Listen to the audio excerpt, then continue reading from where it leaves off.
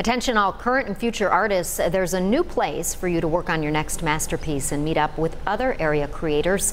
Plus, it's in the perfect location. One of the area's national historical landmarks, the Roycroft campus in East Aurora. Mike Randall reports.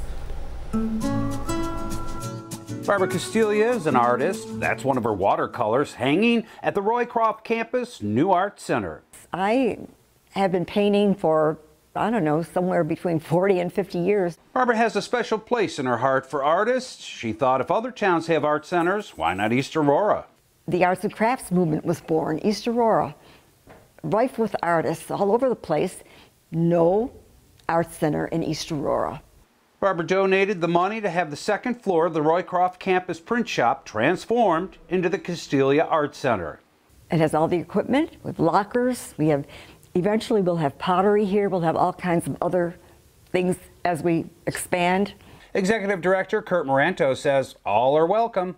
We have artists who are retiring. We have artists that are new, fledgling, and they can come and meet uh, together. According to Kurt, what people find most surprising is the price of membership. We're like, oh, it's only $50 a month? No, no, you know, a year, that's it. Photographer Robert Barr creates his artistry with an old-fashioned camera. The lens is a John B. Dallmeyer um, patent portrait 3B lens made in London in 1891. Robert will be doing workshops here at the Castiglia Art Center.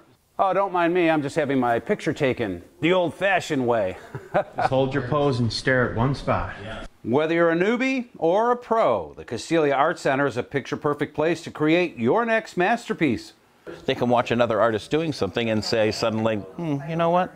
I can do that.